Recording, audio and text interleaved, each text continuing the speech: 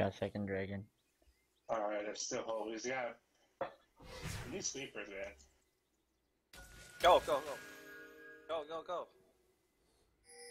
30 seconds is